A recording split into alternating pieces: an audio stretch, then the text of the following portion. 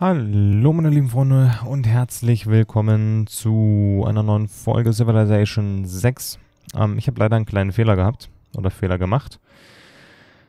Ich habe nicht darauf geachtet, wie voll oder leer meine Festplatte ist, ja, Schrägstrich war und dementsprechend ähm, war dann irgendwie die Datei corrupted und ich habe halt schon weitergespielt gehabt.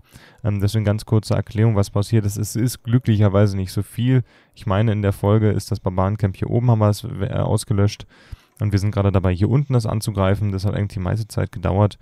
Ansonsten habe ich einen Handwerker gekauft und habe zwei Modernisierungen hier gemacht. Das ist einmal äh, der Bauernhof beim Reis und die, ähm, der Viehstall bei den Schafen.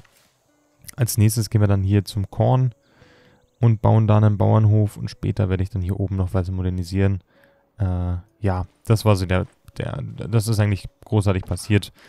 Ähm, hier ist nicht großartig weiter was, pass, äh, was geschehen, also die Stadt ist nicht, hat sich nicht entwickelt, das ist in der nächsten Runde der Fall. Allerdings haben wir einen großen Propheten bekommen, den ich ähm, quasi ja, auf meine, meine Religions, äh, mein, meine Religionsbezirk gesetzt habe. Und mit dem gründen wir gleich eine Religion. Und wir haben einen Gesandten hierhin geschickt. Und äh, mit den Stadtstaaten ist es ganz cool mittlerweile, dass es hier basiert auf Gesandte und äh, wir auch sehen, wer durch, durch welche Zivilisation dieser Stadtstaat beeinflusst wird. Aktuell sind das zwei Stadt, äh, zwei Zivilisationen. Neben uns ist das noch eine weitere. Und zwar ein unbekannter Spieler, ein uns noch unbekannter Spieler, kann man sagen. Und ähm, ja, das vielleicht kurz dazu. Ansonsten gründen wir jetzt die Religion. So.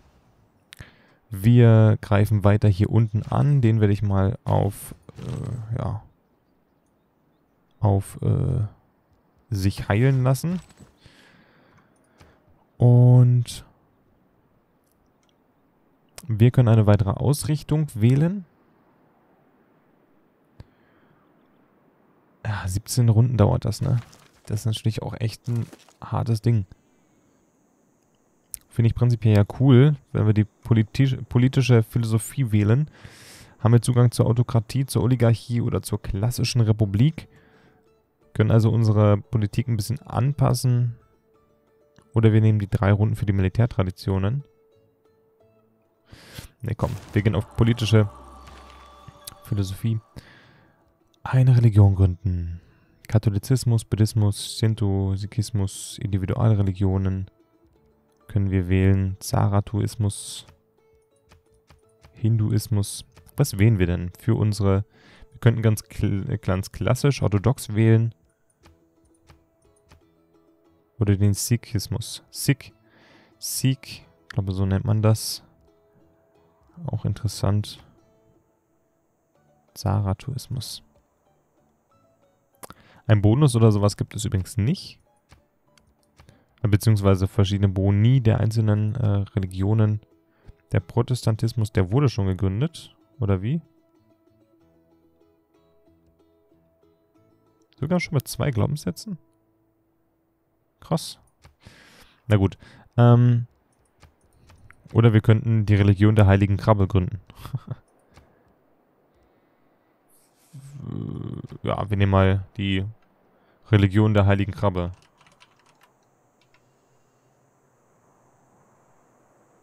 Holy crap.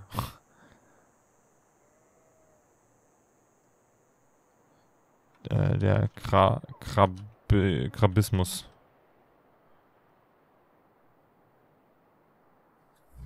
Ja, warum nicht? So, erster Glaubenssatz. Religiöse Gemeinschaft. Schreine und Tempel bringen je einen Wohnraum.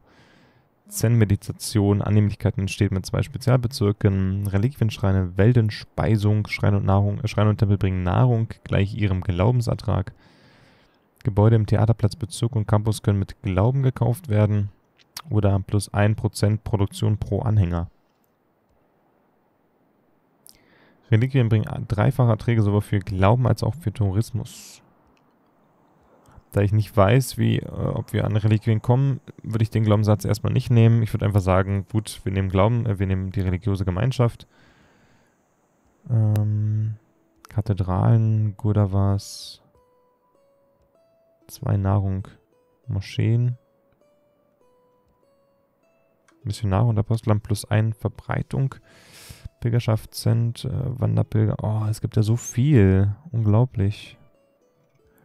Unglaublich. Schrift. Die religiöse Ausbreitung durch Druck von benachbarten Städten ist 25% stärker, wird auf 50% erhöht, wenn Druck erforscht wurde. Wir nehmen Schrift. So. Gründen. Wir wollen erstmal eine Verbreitung haben. Missionare können Bürger zu ihrer Religion konvertieren. Ihr müsst einen Tempel in einer Stellbezirk am Apostel zu kaufen und Religion muss einen Apostel ausgegeben werden, um die Inquisition einzuleiten, bevor sie Inquisitoren kauft. Sie werden dann in einer Stadt mit einem Tempel gekauft. Sehr schön. Okay. Nächste Runde. Schon wieder jemand. Der hat schon wieder jemanden Wunder vollendet. Ach, guck mal, hier ist Lissabon.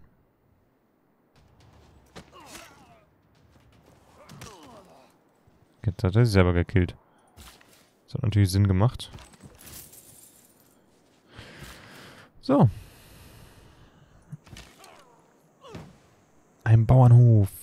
Der baut auch nicht mehr 20 Millionen Jahre, sondern er haut einmal auf den Boden und dann, dann war's das. Dann steht der Bauernhof, kann man sagen. Ich kann übrigens wieder die Ertragssymbole einmal ausmachen. Sieht schöner aus, ne? Habe ich auch nur 25 Folgen für gebraucht. Da ist das Schiff. Dieses böse Schiff, was mich vorhin angegriffen hat. Hat mir einen Bogenschützen weggehauen.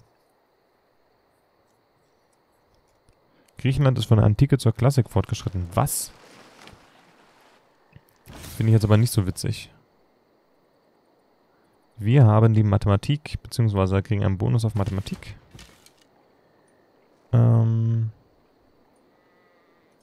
Schicken wir dich mal zurück hier nach Novgorod. Ein Orakel oder ein Lager. Ähm, oder eine Bibliothek. Bringt uns Wissenschaft.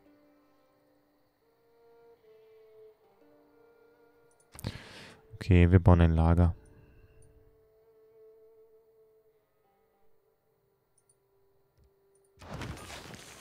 So. Nächste Runde.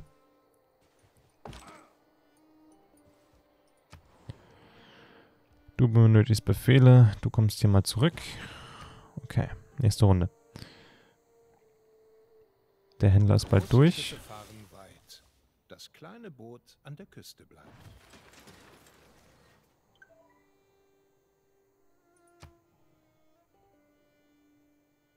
St. Petersburg.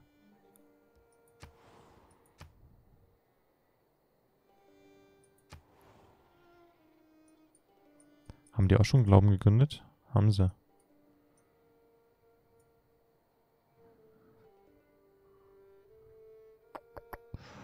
Plus zwei Glauben.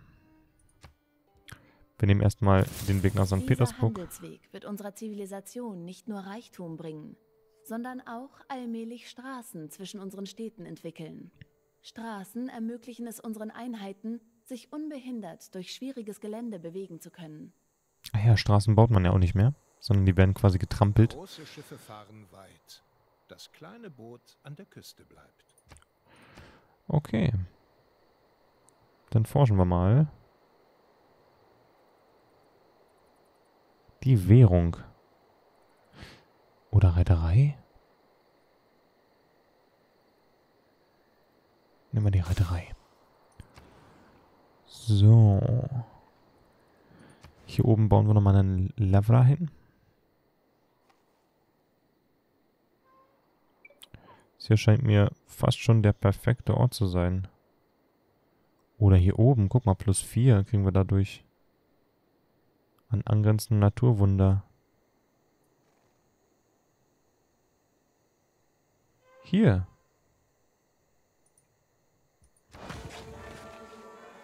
Weil hier ein Naturwunder ist. Gut. Next round. Aue, viator. Augusta e Roma imperator Caesar Traianus sum. Quis es? Qua e terra patria vocas. Ah, guck mal, wer da ist. Cäsar. Es ist eine Ehre, euch kennenzulernen. Wir würden uns freuen, eure Gastfreundschaft in Anspruch zu nehmen. Sehr schön. So, ich würde jetzt mal beim Griechischen Reich auch sagen, dass ich eine De Delegation schicke. Lehnt ihr ab? Du bist ja ein Arsch.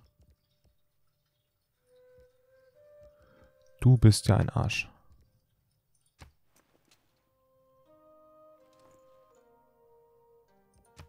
Der mag es. Sehr gut.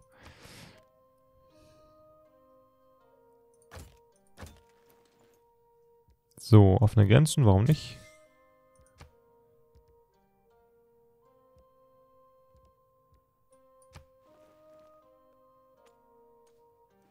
Ein Freund von niemandem als anderen als sich selbst, okay.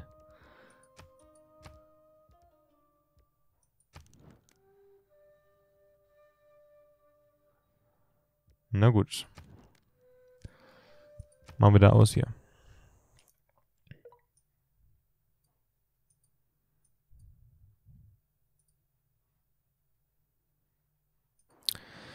Dann äh, war es das, glaube ich, schon für die heutige, für die, für den, für diese Runde. Machen wir weiter. Gehen wir mal in die nächste. Euer Abgeordneter Vasil hat etwas Wichtiges erfahren. Rom hat gerade eine fremde Delegation erfangen. Sie scheint aus Russland zu stammen. Ja, das ist ja unsere. Oder ist es noch ein anderer Russe?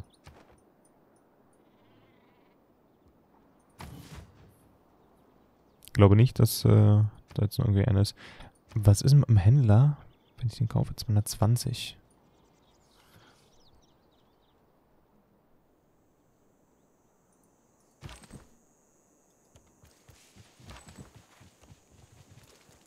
So.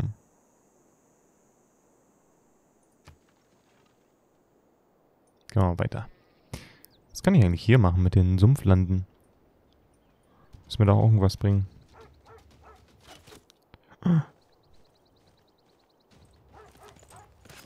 Na toll. Das war mein Speer. Ah, ärgerlich. Meine Güte. Es nervt mich gerade so ein bisschen, dass ich äh, so unfassbar blind bin.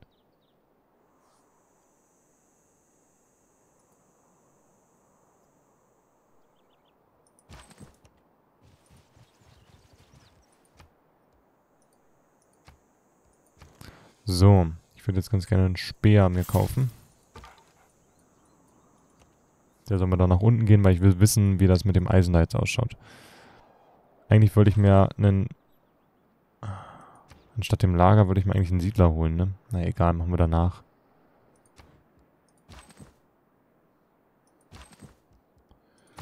Nein, nicht verschanzen. Du sollst dich heilen. So. Du ebenfalls.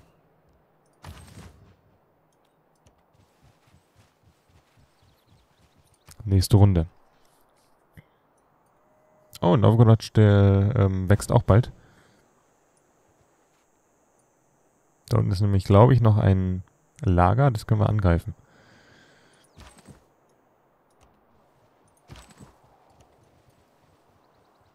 Machen wir das mal.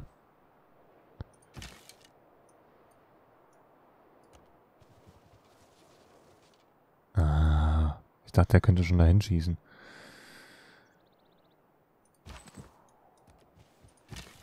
So. Nächste Runde.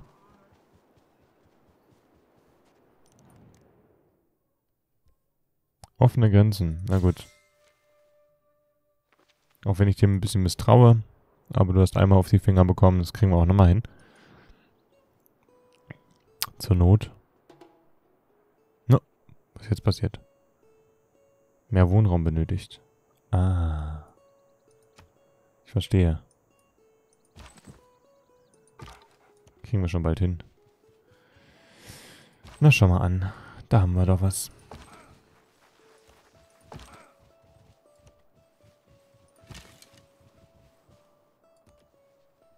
Oh, guck mal, die erste Straße ist gebaut.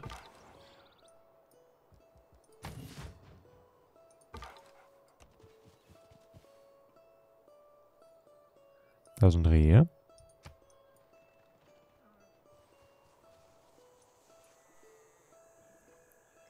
Noch mehr Wohnraum brauchen wir.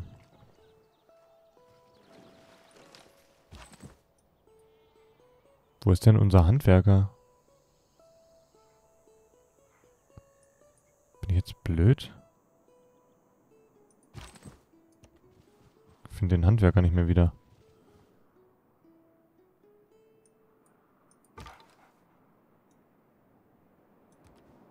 Hm. Sehr komisch.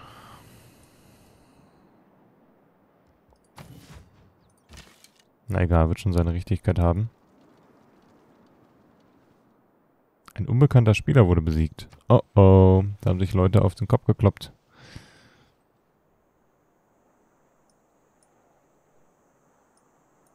Da hat sich wohl jemand nicht so gut verstanden.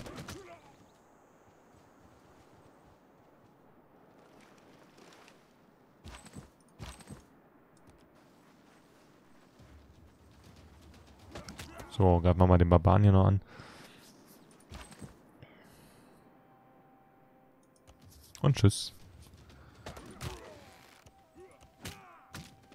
Das ist er gewesen.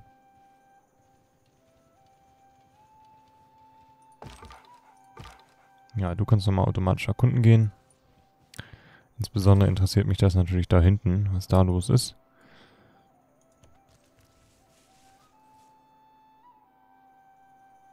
Geh bloß weg da. Geh passa. Okay, aber ich würde sagen, das war's für die heutige Folge. Danke, dass ihr eingeschaltet habt. Bis zum nächsten Mal. Ich wünsche euch was. Euer Rio. Ciao.